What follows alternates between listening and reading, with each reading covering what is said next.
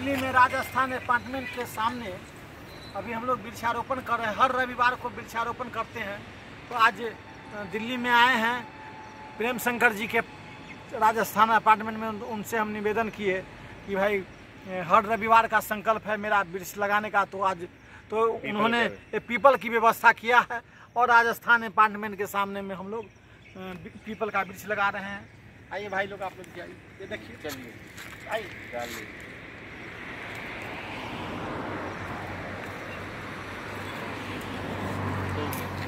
पानी डाल?